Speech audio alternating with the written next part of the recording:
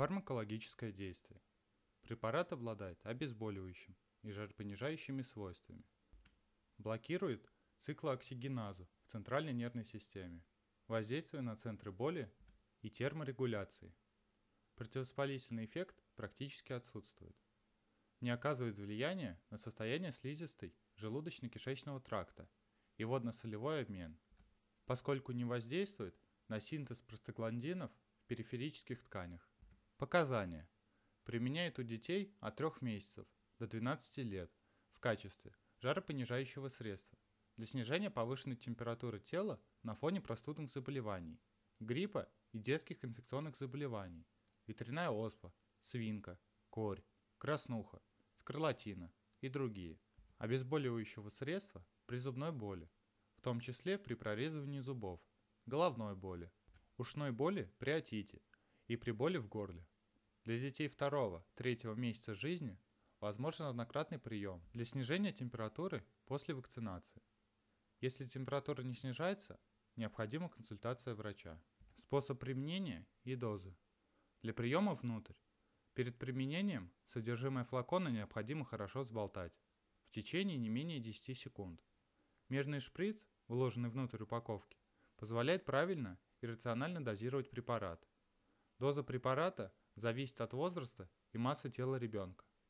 Дети от 3 месяцев до 12 лет максимальная разовая доза 15 мг на килограмм массы тела.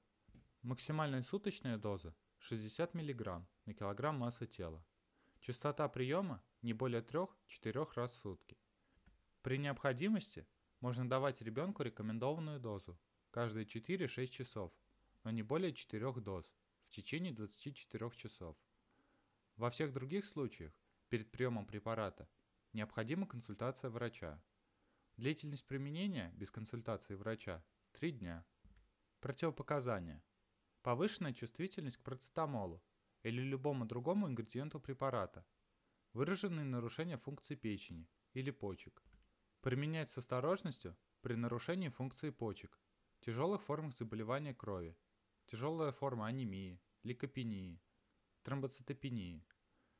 При наличии какого-либо из перечисленных заболеваний перед приемом препарата следует проконсультироваться с врачом. Особые указания.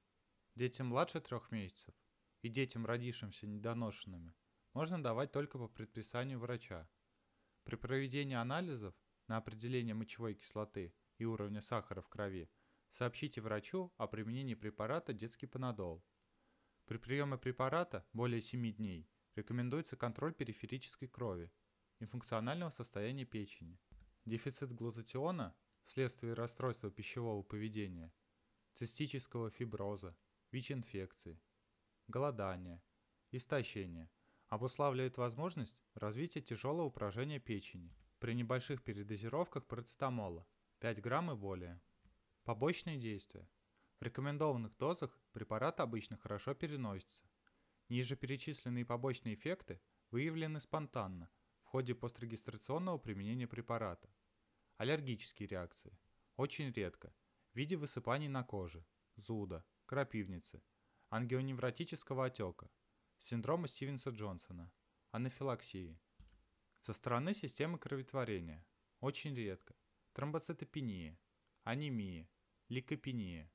Со стороны дыхательной системы. Очень редко. Бронхоспазм. У пациентов с гиперчувствительностью к ацетилсалициловой кислоте и другим нестероидным противовоспалительным препаратам. Со стороны гепатобилиарной системы. Очень редко. Нарушение функции печени. Иногда возможно тошнота, рвота, боли в области желудка. При возникновении любого из перечисленных побочных эффектов прекратите прием препарата и немедленно обратитесь к врачу. Условия хранения и срок годности. Хранить при температуре не выше 30 градусов. Защищать от света. Не замораживать. Хранить в недоступном для детей месте. Срок годности 3 года.